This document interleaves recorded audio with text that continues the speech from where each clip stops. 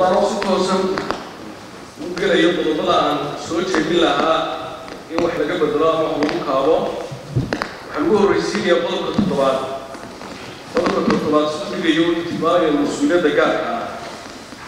Faqradiisa koobaad waxay tilmaamaysaa mas'uuliyadda gaarka ah ee ilaalinta xuquuqda carruurta waxaa xil ka saaran yahay waalidka ilmaha.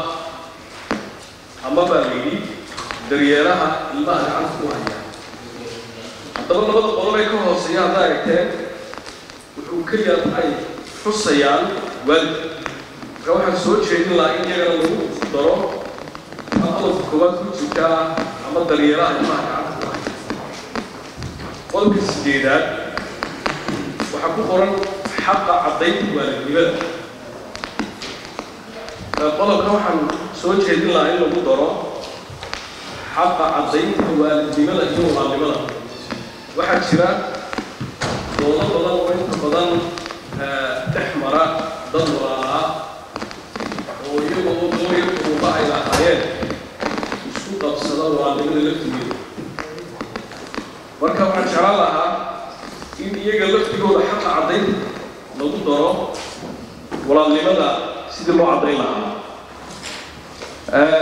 Dadka qaar ka mida waa laga yaabaa waalidkooda inay dhintaan marka xuquuqdii waalidku ka tegay si ay u helaan baa la isku qabsadaa walaalkay baa tahay iyo madkii marka waxaan jeclaan lahaa in iyadana lagu soo daro xaqa caddaynta walaalnimada.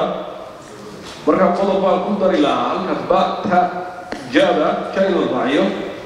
Haddii laba ilmo oo walaali ay ku murmaan walaaltinimada waa in loo raacaa xaqiijintooda si waafaqsan shareecada iyadoo ugu dambayn lagu kala saarayo caddaymaha hidasidaha d n a-ga.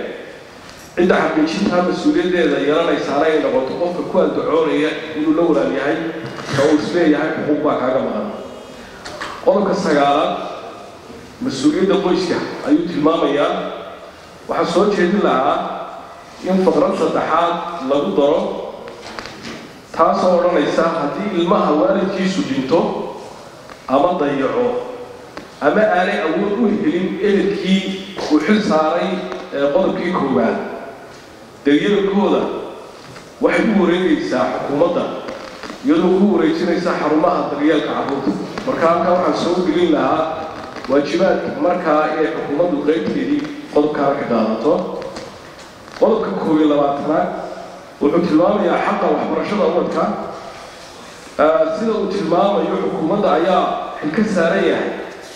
Sidii carruurtii aan ka korin baa yidhi da-da waxbarashada. Ay u heli lahaayeen waxbarashada asaasiga daba su'aashu waxay tahay kuwa ka koray laftigoodu xaqoodii xaquu qabanaya.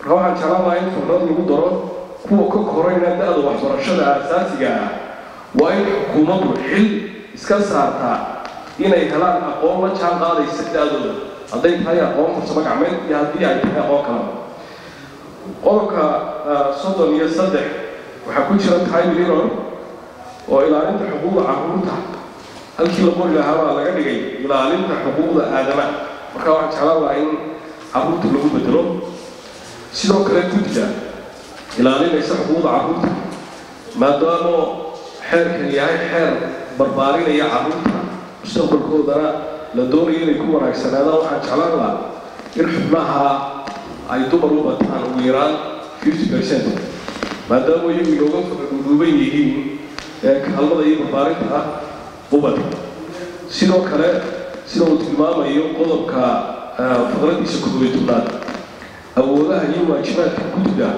waa in lagu faahfaahiyaa xeerka.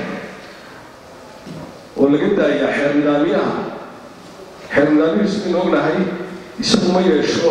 Haddii lagu gofo ciqaab marka waxaan jeclaan lahaa maadaama waajibaadkii iyo mas'uuliyiintii guddigan halkan aynu ku sheegnay waa in xeerka waajibaadkiisa lagu sheegaa.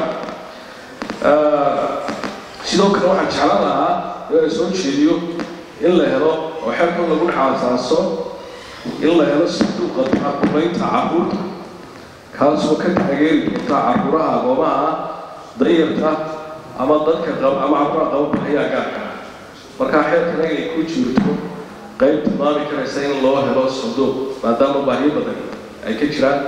Sidaa la socotay miisaaniyadii ugu dambeysay aan sixinay meelihii ugu badnaa ee runtii laga cabanayay waxay ahaayeen ubadka agoomaha ah iyo kuwa baahiyaha gaarka ah iyo allahuma salli calaa maxamed kuwa xablada la nool autishanka waxaan jeclaan lahaa isaga laftigiisa inaynu ku dhex samayno ama lagu dhex abuuro sanduuq taakulaynaya kaalmada carruurta qodobka shalay soddonaad wuxuu tilmaamayaa kelmado cululus ku jiro kelmadaha dambiyada iyo ciqaabaha.